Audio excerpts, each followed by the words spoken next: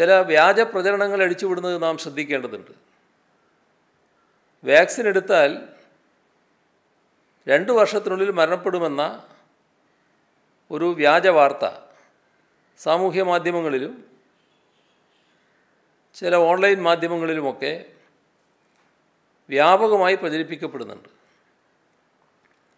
അത് പരിപൂർണമായും വ്യാജമാണെന്ന് ആ പ്രസ്താവന നൽകിയതായി വാർത്തയിൽ പറയുന്ന ശാസ്ത്രജ്ഞൻ വെളിപ്പെടുത്തിയിട്ടുമുണ്ട്. മനുഷ്യരുടെ അതിജീവനം ഒരു വലിയ പ്രതിസന്ധിയെ നേരിടുന്ന ഇതുപോലൊരു ഘട്ടത്തിൽ അത് കൂടുതൽ ദുഷ്കരമാക്കുന്ന പ്രചരണത്തിൽ ഏർപ്പെടുന്നവർ ചെയ്യുന്നത് നീതീകരിക്കാനാവാത്ത കുറ്റമാണ്.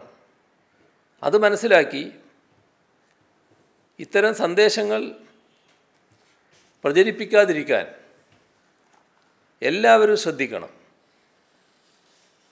അത്തരം പ്രചരണങ്ങൾക്ക് നേതൃത്വം നൽകുന്നവരെ നിയമങ്ങൾക്കനുസൃതമായി സർക്കാർ ശക്തമായി നേരിടും.